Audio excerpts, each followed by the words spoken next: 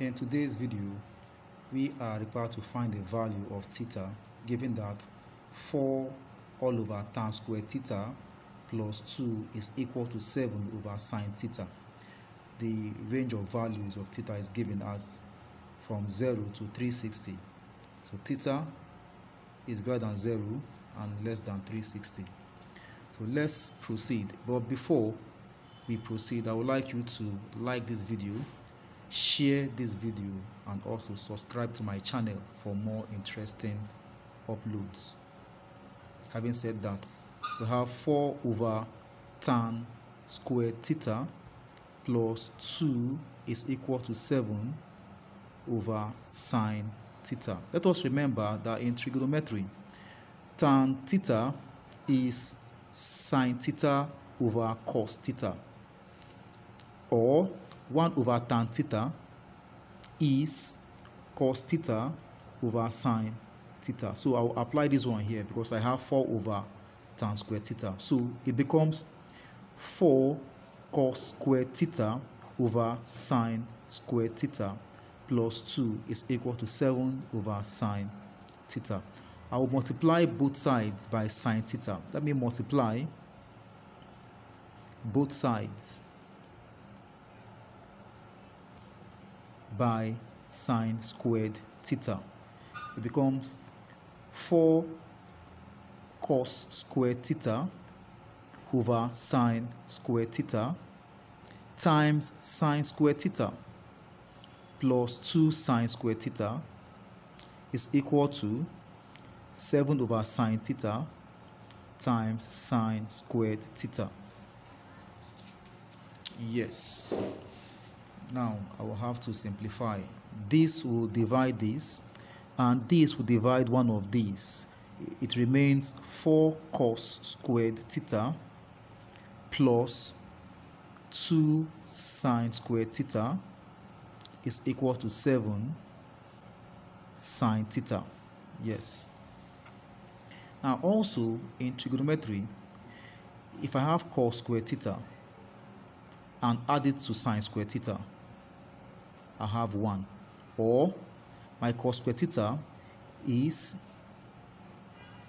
1 minus sine square theta. So I have to make the substitution here. So where I have cos square theta, I'll have I'll put 1 minus sine square theta in place of it. So 4 brackets 1 minus sine square theta is now what I have plus 2 sine square theta is equal to 7 sine theta. Let me open this bracket 4 minus 4 sine square theta plus 2 sine square theta is equal to 7 sine theta. I will subtract um, minus 4 from 2. So 4, it will remain minus 2 sine square theta. Yes, is equal to 7 sine theta. So let, let's rearrange. If I rearrange it, it becomes 2 sine square theta.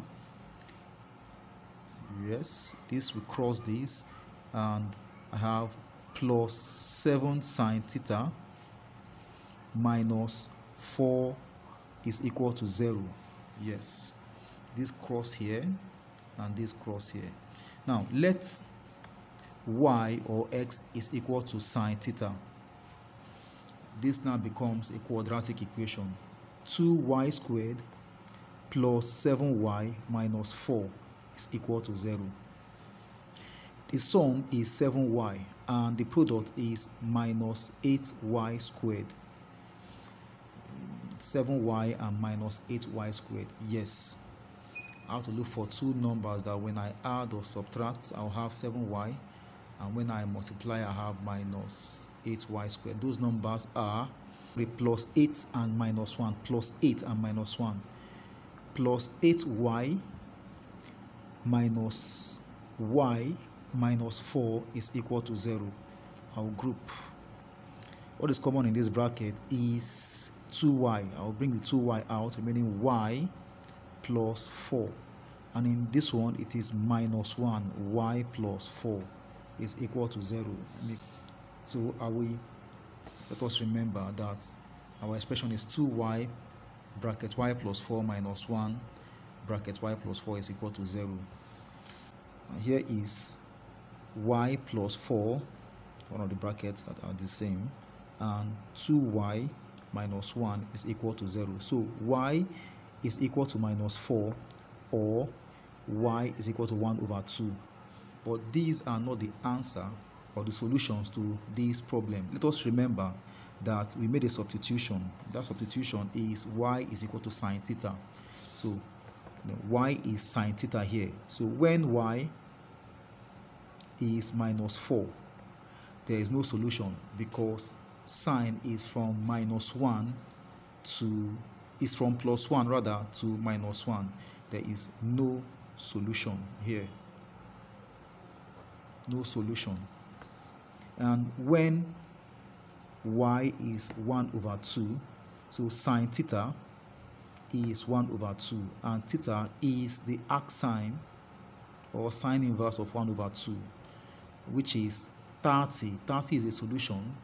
Also 150 is also a solution. So these are the solutions